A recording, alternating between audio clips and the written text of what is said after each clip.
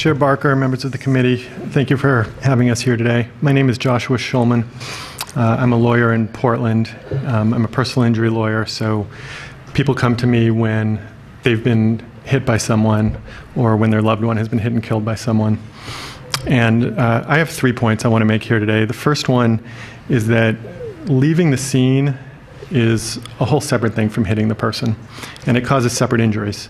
So first there's the hit, and that's that's an accident. But then leaving is a choice. It's an intentional act. And it causes separate injuries. It causes more physical injuries, as Steph talked about. There's this if someone's hit and they're seriously hurt, and then the person who hit them leaves instead of calling 911, that can mean the difference between a serious injury and death, or between organ damage and organ failure. Um, but the second kind of injury is there's a psychological injury. And it's one thing to be hit and have a, a, broken pelvis or you know whatever serious injury it is, maybe be in a wheelchair for life. That's hard enough to deal with. When you also now know that there are people out there who are evil enough, selfish enough to do that and then leave you lying in the road like a piece of garbage, that is something people don't get over. It causes a separate psychological injury. Um, so that's point one. It's, the hit is usually an accident, but the leaving is intentional and it causes separate injuries. Number two is people run for a reason. In my experience, the people who flee the scene usually are drunk or they're on drugs or they have a suspended license. Maybe they have prior DUIs.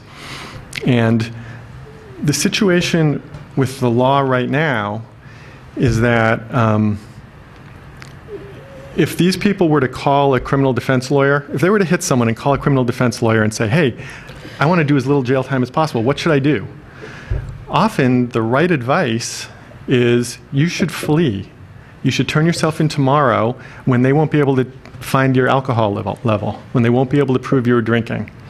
And what happens is that it's really hard for the prosecutor even to prove they were driving, right? Maybe someone gets a license plate so you know whose car it was, but that does not prove beyond a reasonable doubt that that person was driving.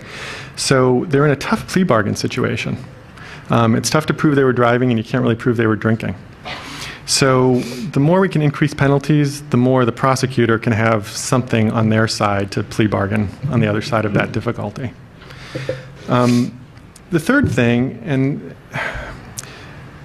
this is kind of a, the, about the, how we look at driving. Everyone seems to think that driving is a, some kind of right that we have, and it's not. It's a privilege. If you want a driver's license in Oregon, you have to go to the DMV, you have to take a test, and you have to pass it. Um, and once you've done that, the state of Oregon says, We're backing you. You can drive. Here, here's a driver's license from us. If you then hit someone and cause what this bill is serious injury is, is defined as like near death, organ failure, permanent disfigurement. These are very serious injuries. If you hit someone and cause that kind of injury and take off, right now the state of Oregon is going to say one year later, here's your license back. We think you should drive again. So, in my view, um, if you cause serious personal injury, I'd like to see the license taken away for way more than three years. But three years is a great step in the right direction. And um, I fully support this bill, and I hope that you will too. Thank you. Thank you.